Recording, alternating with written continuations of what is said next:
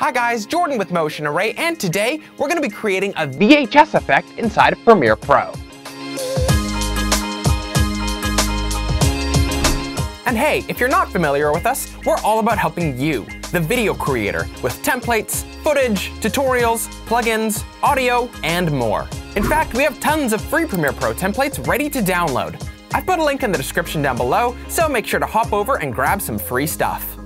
So the final effect that we're gonna go for is to take a piece of footage that looks like this and make it look like it was recorded and played back over a VHS tape like this.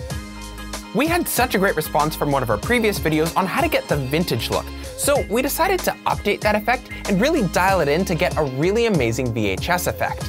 Later on, we're also going to be showing you how to take your audio and add some effects to make it sound a lot more like your visuals look. And then finally, we're going to be showing you one of our free VHS overlays here at Motion Array that you can use inside of your own projects to really take this effect home. So let's jump into Premiere Pro and take a look at how to get this effect. So here we are in Premiere Pro, and the first thing that we're going to do is simply place down our clip onto our timeline. Great. Okay, next up, we want to go over here to our project panel, and we can right click and select New Item, Adjustment Layer. Once you select this, you can place your adjustment layer on top of your footage. Now, you can technically add the effects that we're going to create right onto your footage, but I like using adjustment layers personally. And this will also give me a really simple way of showing some before and after examples as we go on. So, the first thing that we're going to do to get our VHS effect is, believe it or not, a color correction. So, with your layer highlighted, go ahead and select your Lumetri color section. This can be subjective based on taste, but if you follow these general principles, you'll end up with a nice effect. To start, let's go down to the creative section. We're going to do two things really quick. Increase the faded film effect and decrease sharpening. I'm going to go 50 for the faded film effect and negative 50 for sharpening, but it's totally up to you depending on your footage and your preferences. Next up, let's go down to curves. Our goal is to basically clip both the whites and the blacks to take information out of both of them as footage recorded off of these old formats typically has less dynamic range. So within your curve section, you can lower your top right section and raise your bottom left section. Now, this will look a little bit extreme, so if we pull each of these back in, so that they're a little bit closer to their original angle, we can retain the state of all of the information in this region while still clipping our blacks and whites. Cool. And this is what we have so far.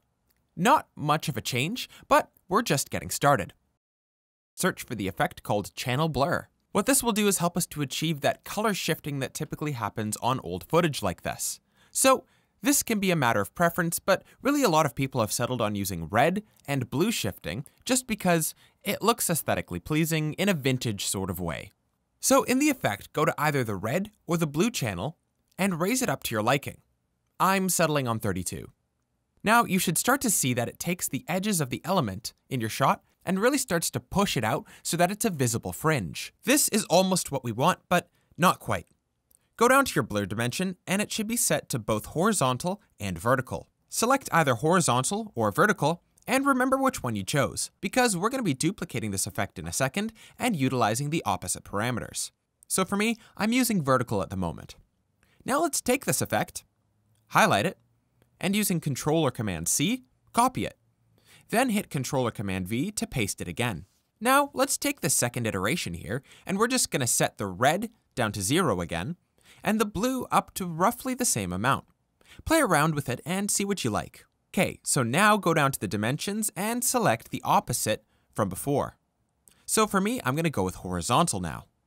You should also notice that around your frame, you've got this same sort of fringing happening as well. If you don't like that, you can go to your channel blur effect settings and select repeat edge pixel for both. Awesome. Next up, we're going to be tackling how to get this sort of tracking line effect that goes up your footage. It's done using the wave warp effect. So go down to your effects and search for wave warp. Place it down and let's start tweaking some settings. Change your wave type to square. Wave height can stay at 10, and wave width we're going to want to be really high. Anywhere north of 600 will help you to get this just one line at any given time, but I'm going to go up to 1000.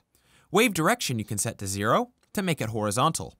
And wave speed you can set to anywhere between 0.1 and 0.2 to get that nice slow crawl up your footage. But you'll notice that you've got some black edges around the frame, showing exactly where we're crunching the footage in to get this scanning line effect. So if you go to pinning and select all edges, you'll make the footage respect the edges of the frame. Finally, your wave warp effect at this point is basically on repeat. So the phase parameter won't make any changes apart from just changing where along the pattern it starts. So with that, we've gone from this to this. Nice. But we've still got a few more pieces to add. Go down to your effects again and search for noise. Add it to your adjustment layer. Once you add it, let's dial up the noise to about 10%, or whatever looks good with your footage. And next, let's add one more effect called Mosaic. This can help to really get that low resolution look that helps to sell the fact that this was shot with a cheap camera. We already made the image softer before by reducing sharpening, but this will actually take the footage and make it look like it was shot at a resolution below 720p, no matter how it's actually displayed. If you want nice crisp footage with this effect, then you can skip this particular mosaic effect, but if you really want to sell the idea that this was shot on a worse camera, then take the mosaic effect and set the width to somewhere around 1000 and the height to somewhere around 500. This, in combination with noise, will give that impression of really low quality footage. And guys, if you really wanted to call it quits from here, you can actually use this effect and get some great results. But we're going to be showing you a few more awesome ways to take this effect to the next level. Right now, our effect is sort of soft and almost gives a dreamy sense. But if you want to make it a little bit more harsh and old, you can add an effect called Unsharp Mask. Once this is on, take it and set the amount to anywhere between 80 to 120. I like 110. Then take the radius and increase it until you start to see it crunching your footage. I like around 25 to 30. This gives it a bit more of that harsh feel to it, which can really help to sell the fact that it was shot on an old camera. This really starts to get into preferences of style, but you can leave it at the very bottom of all your effects if you'd like, or play around with placing it above your mosaic and noise effects in order to see the different effects that you get. But personally, I kind of like it at the very bottom, impacting all of the other work that we just did. But first, let's make your life a little bit easier by holding Control or Command and selecting each one of these effects that you added to your adjustment layer. Now, when you right click any that are selected, you can hit Save Preset. And now you can actually keep all the work that you've done for this effect and save it as a drag and drop preset effect to be able to use at a later date. Awesome, right? Next up, let's add a second adjustment layer and a second wave warp effect onto it.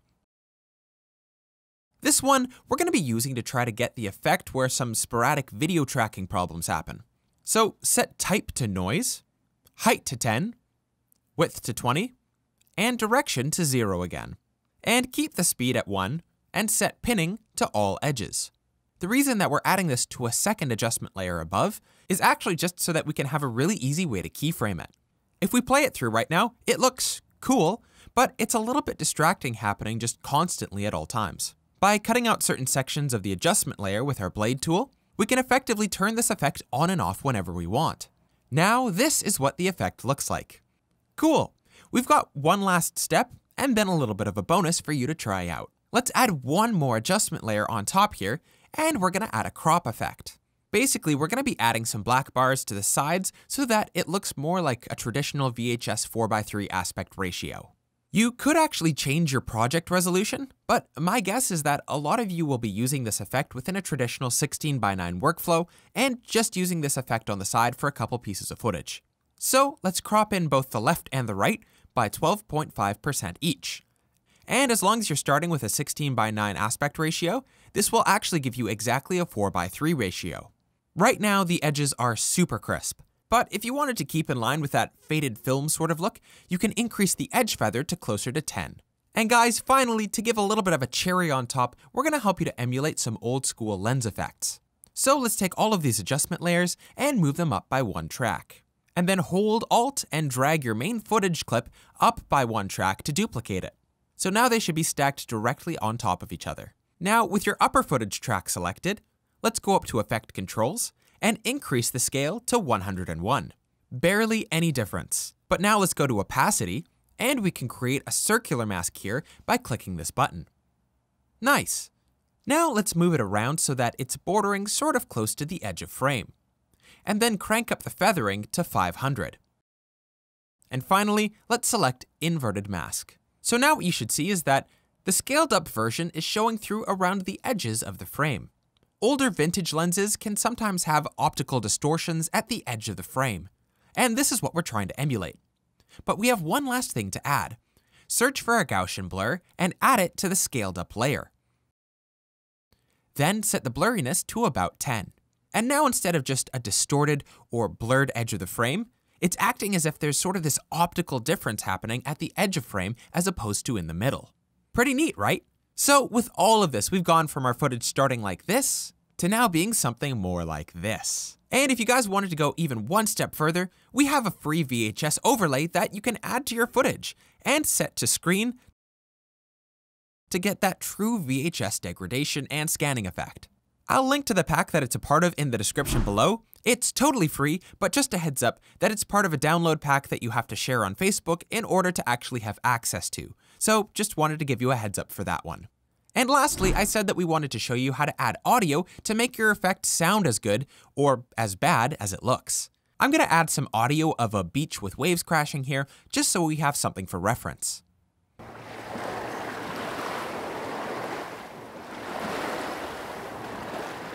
And now we're going to go down to our effects again and search for distortion under the audio effects section. Add it to your audio layer and then hit the edit section under effect controls. Now under these parameters, search for a preset called tape drive. What this will do is essentially give you a hissing and breaking apart when your audio reaches certain levels.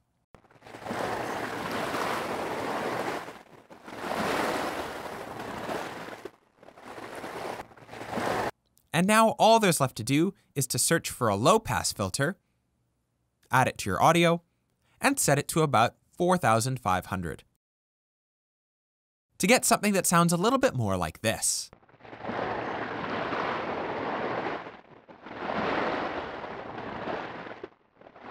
And guys, that was a long tutorial, but if you made it to the end, congratulations. This effect will hopefully serve you super well if you ever need to get that sort of vintage VHS look. And I hope that some of the methods we used along the way will help you to be able to add your own flair to this and other effects you encounter as well. If you guys like this video, consider giving it a like or even subscribing to our YouTube channel. And if you're looking for other tutorials, we always have a lot more here at motionarray.com. And if after all of that you just wanted to pick up a VHS overlay or really anything else, feel free to check out our marketplace. But as always guys, thank you so much for stopping by and I can't wait to see you in the next video.